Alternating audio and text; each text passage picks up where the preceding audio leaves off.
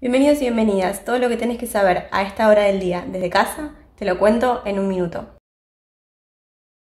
El presidente Alberto Fernández dijo hoy que no se va a flexibilizar el aislamiento social por el coronavirus después del domingo 12 y advirtió que en centros urbanos seremos mucho más estrictos.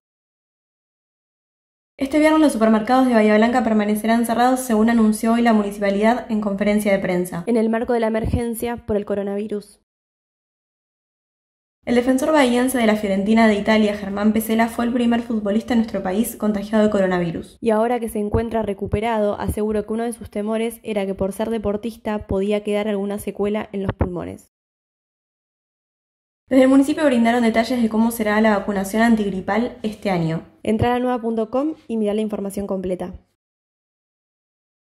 Femicidio en White. La cabeza de un psicópata no la vamos a entender nunca, dijo Roxana Melo, hija de la víctima. Si sufrís violencia de género o conoces a alguna víctima, llama al 144. Es gratis y atiende las 24 horas, también durante la cuarentena. Por el bien de todas y todos, quédate en casa. Encontrá estas noticias que te conté y muchas más en la nueva.com.